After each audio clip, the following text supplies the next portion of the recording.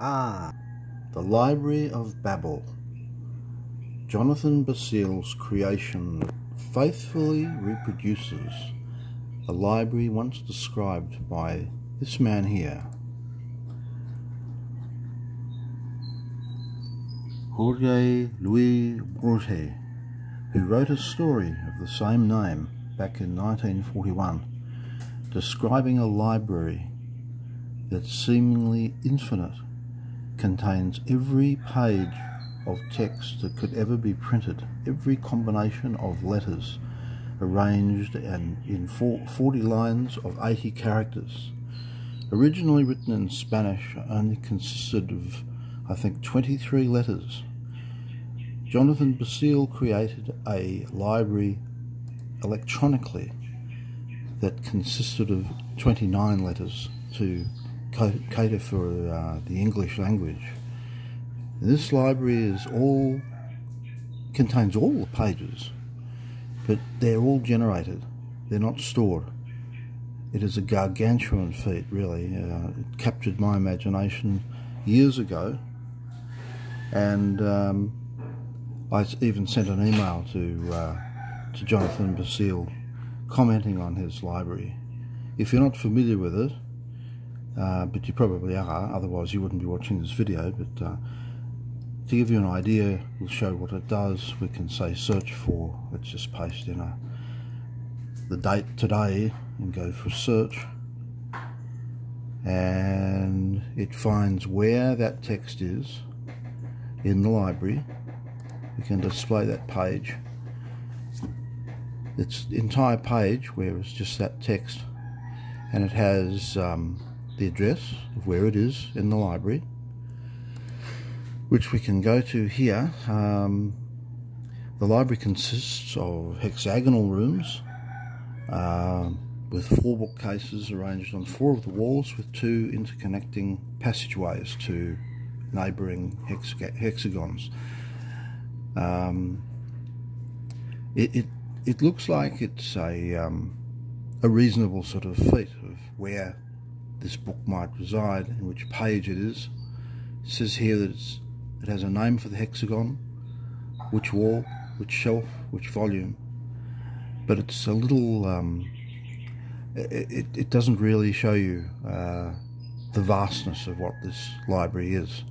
Uh, this this hexagon here is uh, is represented as a number in base 36. It's got all the letters of the uh, alphabet plus all these digits 0 to 9, giving 36 combinations of, of letter.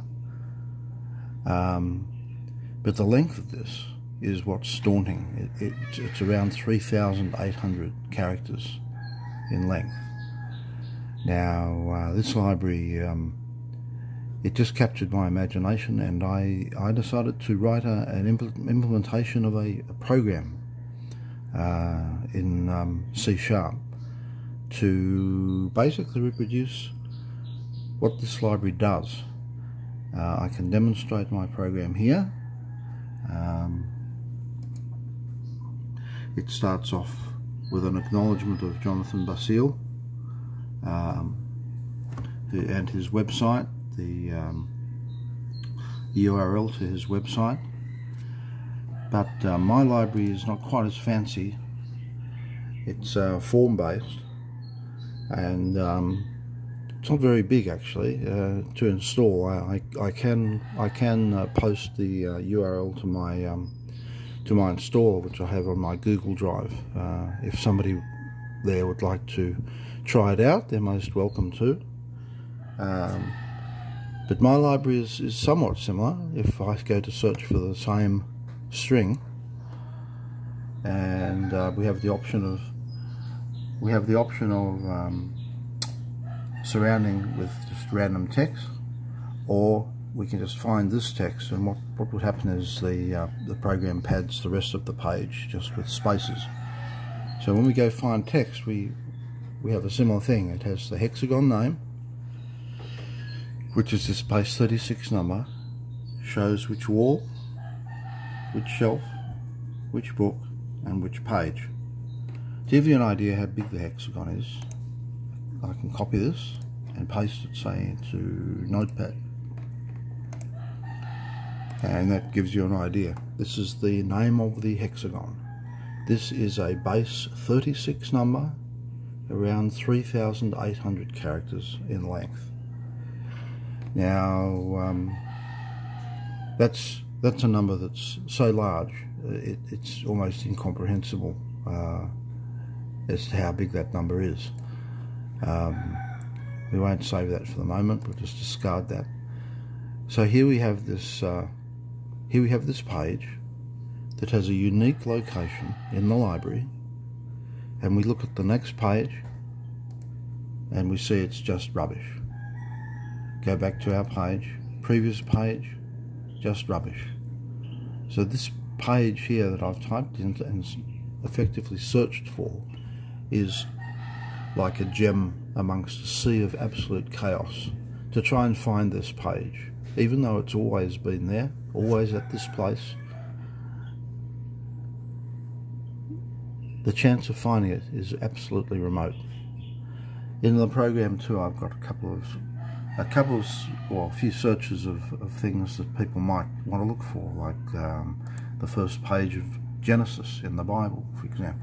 All the text of the first page at this hexagon, this wall, shelf number 1, book number 20, page number 59. In a sea of chaos, the previous page, utter gibberish. The next page, utter gibberish. You can try and search for something. You can try you can change the hexagon here and go searching, but you would spend lifetimes trying to find where this is. In the next part of this video, I will show the code that generates this program and give you an explanation of how it all works. So, how does it all work? Well, basically what happens is you have your text here in a page. It consists of 40 characters wide and it is 80, 80, um, 80 lines. So we have 3,200 characters. We only use 32 characters in my implementation and I'll explain why this is. Borges, uh, I mean, Basile's version uh, is only 29 characters but there's a problem with using only 29 and I'll explain what that is later. So we have 32 characters here um, which is actually um, 2 to the power of 5 and that's, that's a very important fact because what I do as the first operation of the program is when you enter some text the page is spaced out to 3,200 characters with spaces. The second step in the process is to pack the 3,200 characters into 2,000 bytes. Now how this is done basically is because each character is only 5 bits and a byte is 8 bits, we can shuffle characters into a 2000 byte array exactly without any spaces. So once we have this byte array of 2000 bytes, then we apply the scrambling process. And this is, this is really where the magic, if you could call it that, happens. This is a reversible process that converts this 2000 byte array into an effectively scrambled byte array. Now this scrambled array will basically convert every two, every byte of this 2000 byte array into some other completely seemingly random 2000 byte array. So you can effectively have every combination of bytes that you would have had here, depending on what what the scrambling process entails. But it has to be reversible. Once you get this byte array, you can go back to the original. So once we have this scrambled byte array, this consists of 2000 bytes of numbers from 0 to 255. So this can be then represented as a big integer number. So 255 combinations of bits for 2000 bytes is an enormous number. Once we make this big integer, this actual integer is around 20, um, 24,800 digits. So you can think of this as just a crazy number, crazy large. Once we have this number, we can then break it down. We can divide the number by 410 because there are 410 pages uh, in each book. First of all, we do a modulo of this big integer by 410. The modulo will give us a number from 0 to 409. That gives us the page number. Then we divide big integer by 410. The next step is we get the book number. There are 32 books in each shelf. So then we do a modulo of 32 to get a number 0 to 31. Give us our book number. Then divide big int by 32. Do the same to get the shelf number, but there are five shelves, so we do a modulo 5, getting a number from 0 to 4. Divide big integer by 5. Then do the wall number. There are four walls, so we do a modulo 4, getting a number 0 to 3. And then you'll be divide by 4. So, at the end, what big represents, this big integer, what it represents is the hexagon. The hexagon address. So all we need to do is convert big integer to this base 36 number and save it as a string. And that is stored in the hexagon box in the uh, in the application. So it's not really a search, it's a computation. And that that's how the actual address of the text, of any text that you enter, that's how it's actually produced.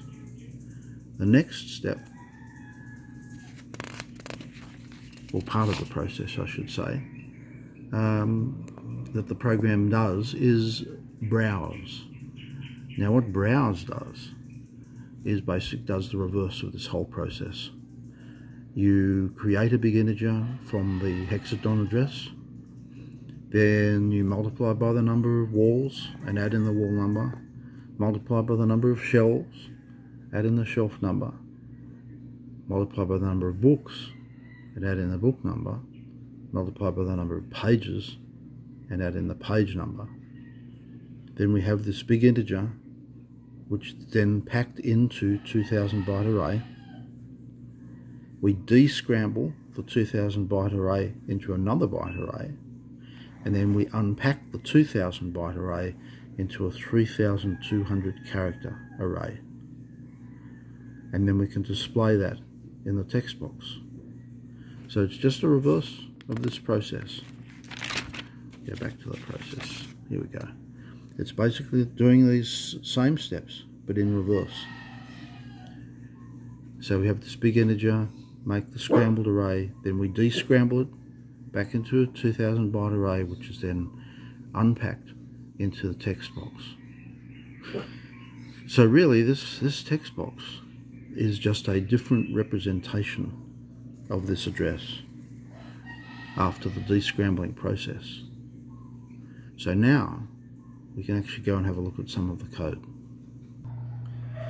When I originally wrote this program, it was a bit of an exercise actually to uh, to use C Sharp, which i um, I'm a professional programmer, retired now, but uh, I heard that uh, Visual Studio was um, there was a uh, a community edition, effectively free uh, for anyone who wants to learn how to program in C Sharp. Uh, I think you can even produce some products up to a certain value before you, you have to actually pay uh, Microsoft for the, uh, for the Visual Studio. But in my case, this was simply a learning exercise. And, um, and I, I, haven't had to pay anything.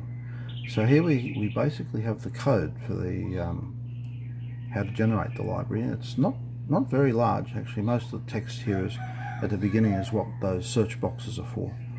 Um, but the code is uh, not really very long. Um, it turned out to be a far simpler process than I than I thought.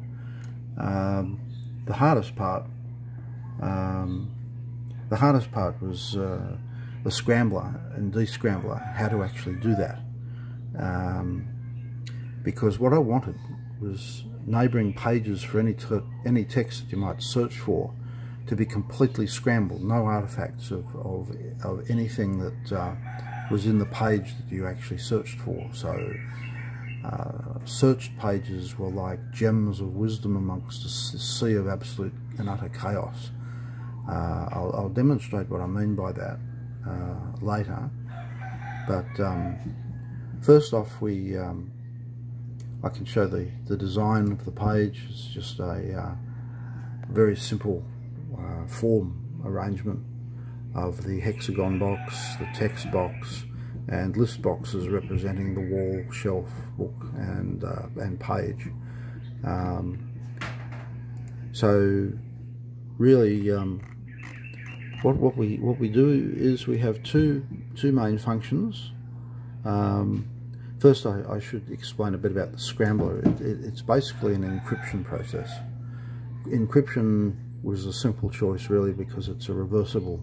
You decrypt text, you it comes out as a uh, random, seemingly random, uh, chaotic uh, set of numbers, and then you can de de uh, decrypt those numbers back into the original text. Uh, but what I found was um, that even even encrypting and decrypting, if I made slight changes to the original text, there were sometimes I could see artifacts. And uh, uh, I didn't want that. So I ended up doing a combination of things. Um, I ended up um, I ended up basically this is the uh, the packing process. It packs the uh, characters into an array then there's an unpack process which does does the reverse but um, the main um, part of the code I guess, is down here where we look for the um, browse, oh, here's browse page for example. You can see where the very first thing I do is make a big integer. Unfortunately, C Sharp has um, has a big integer class where you can have arbitrary sized uh, arbitrary sized numbers. This is doing all the work for me really. Um, this made writing this program very very simple. So we make this big integer um, out of all the characters in the uh, in the uh, hexagon address. Then we add in the wall number as I described and the shelf number, the book number, page number. Then um, compact it into uh, compact that all into a big integer. Then um, that that makes the uh, the array, the 2000 byte array. Then we go through the uh, encryption. So we had an encryption and we I have a, a, a scrambler of bits, which is basically a uh, linear shift register, feedback linear uh, shift register. Then I reverse the array and uh, encrypt it again, and then descramble the bits into another array. The reason I reversed the array was to try and get rid of the artifacts, and the same with the linear feedback shift register as well. And it ended up working really quite well. So this this part of code here is actually the the whole uh, meat of the conversion from address to uh, address to to page of text. Then it's just a simple matter of getting all the um, uh, characters out of this array and showing them in the text box and that's really all it is. Uh, that's for browse. Search or find is just a reverse of this. Uh, if we look at the text of my code here, you can see where, um, uh, first of all, it checks to see whether you want to look for a, any uh, page of surrounding text, uh, and it puts in the random characters, or it will just pad out um, pad out the character, uh, the page with just spaces. We go further down, what we see is it packs the array of page bytes into a 2000 byte packed array. And then it goes through a reverse process here. Does a descrambling, then it does a decrypt, reverses the array and it does a descramble and then it does an encrypt. So it's the reverse, exact reverse of the steps shown above in the browse. Then all it does is it basically um, gets the page number and then it extracts a book number then the shelf number and then the wall number and the last thing it does is the rest of the big integer is hexadecimal address uh, the uh, hexagon address. And once it's got all that base 36 it then displays the hex name. And that's really all it does. Um, that's that's the whole two-part process of um, browsing and searching. So when we run this uh, we'll run, run it as a debug version here uh, press start. Builds very quickly. Here we have uh, here we have the app. If I go and search for a, um, a generated page one that's already been entered in you can see it works very quickly.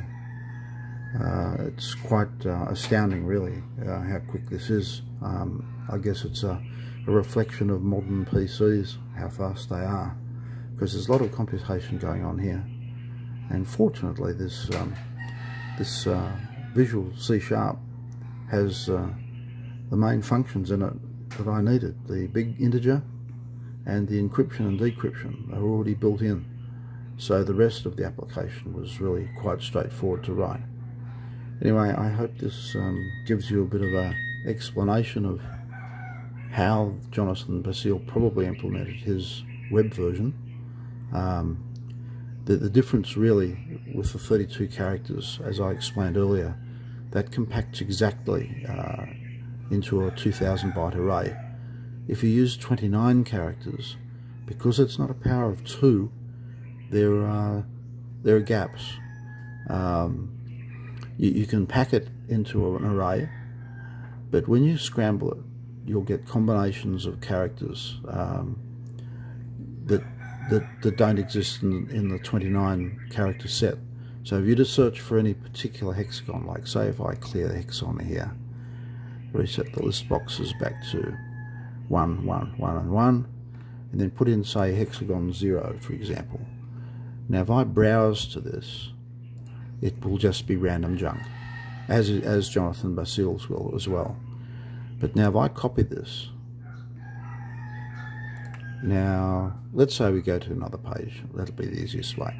So we go to page, say, say 100. Let's find page 100 here. Now browse to it. Now copy the text here. Now clear everything.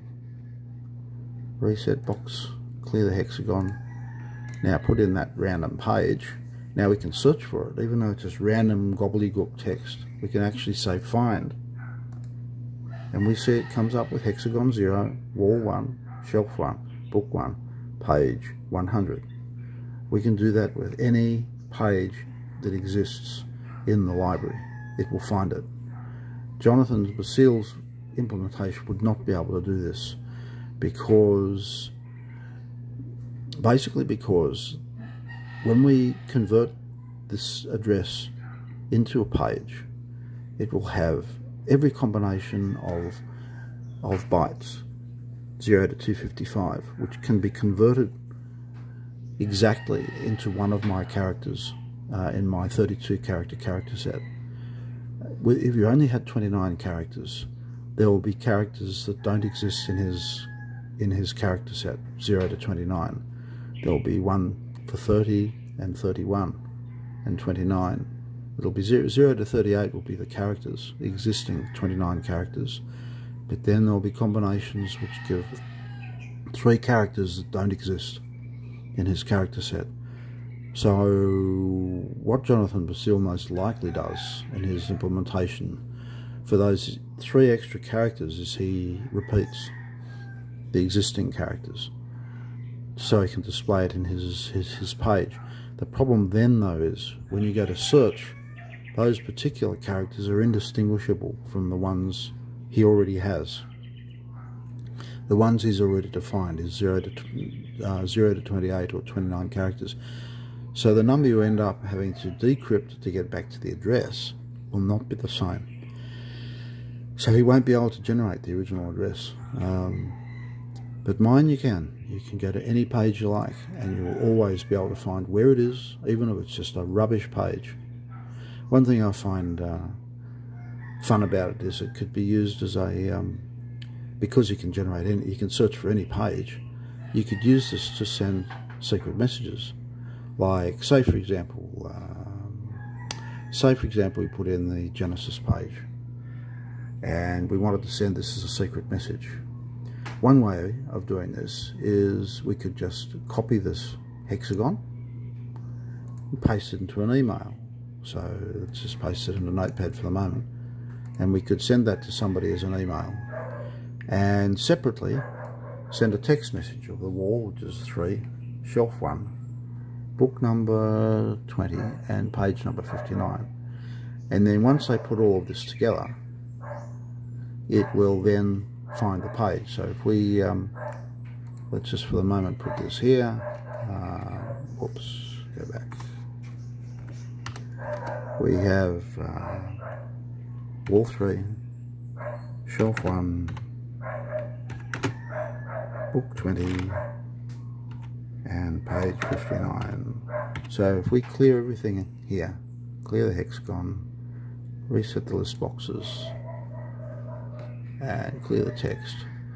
So if they paste in the hexagon here, you just go paste and then put in that exact information here. Uh, 3, 1, 20, down to 20 here. 20 and 59, we find 59, 59 and do browse. We go back to we find our page of Genesis. Another way we could send this as a, uh, a um, secret message to someone is instead of sending the hexagon and then the wall, shelf, book and page, what we can do is we could make a minor change to the hexagon. Say up here we could have got KK5 and R. If we were to just change these to something else, got to remember this. Got to remember the KK5, KK5R, because what we'll do is we'll change something arbitrary, say ZZZZ, something that they can recognize when they get the uh, message. Um, change it to KK5, KK5R to ZZZZ. So when we browse to this, we'll get just rubbish. So we email them the rubbish, we copy that and then paste it into Notepad or our email um, um, email program. We just paste this into it. And then we send them a separate text message with the KK5R. So when they get this text and paste it in to search for it, clear everything here. Um, reset the list boxes. So what they do is they will search for that text, find text, and they will see you have instructions to them to look, look for these Zs in the hexagon, and there they are.